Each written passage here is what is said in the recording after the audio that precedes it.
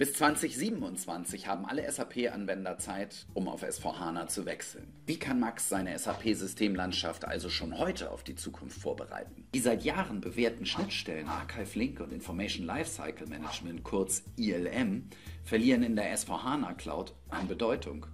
So rückt der Wechsel zur cloudfähigen CEMIS-Schnittstelle in den Fokus.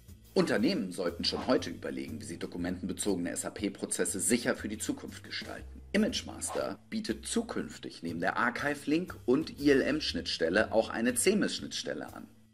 Die bisher in den alten Systemen abgelegten Dokumente kann Max dank ImageMaster CEMIS-konform überführen.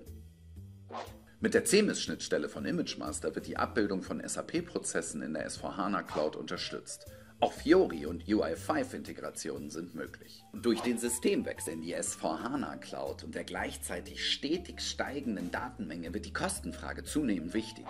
Damit also das Datenbankvolumen kein unnötiger Kostentreiber ist, kann dieses durch Datenarchivierung mit ImageMaster signifikant reduziert und das Wachstum auch in Zukunft verlangsamt werden. Mit ImageMaster ist die SAP-Systemlandschaft von Max bestens für die Zukunft gewappnet. Klasse!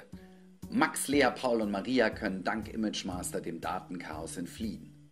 Jetzt, da die Probleme weg sind, wirken die Kollegen und Kolleginnen ja gar nicht mehr so griesgrämig, sondern sind netter als gedacht.